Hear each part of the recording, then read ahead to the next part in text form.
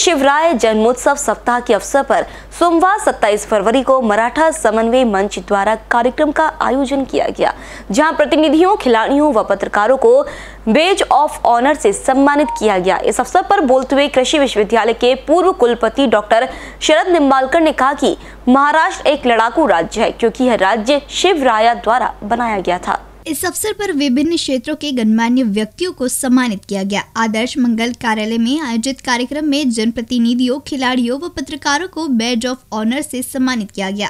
कार्यक्रम में पालोटी के सरपंच आनंद खंडागले, पिंपरी के जया जयसिंह घाड़गे, चंदन पारदी उप सरपंच रविंद्र गुंड, पत्रकार अनिल यादव, सतीश गिरमकर, आशीष देशमुख, आविष्कार देशमुख, रामेश्वर काकड़े, अमिता शिंदे, विशाल देवकर, रत्नाकर मुलिक, अजय बिवड़े छत्रपति शिवदुर्ग के सेजल जाचक प्रतियोगिता में ग्राम सेवक सचिन गार्गे, गरिमा माने, सुप्रिया जाधव, समृद्धि मोटे व मुख्य अतिथि फाउंडेशन के निदेशक डॉक्टर सुरेश जाधव के हाथों जनप्रतिनिधियों खिलाड़ियों व पत्रकारों को सम्मानित किया गया।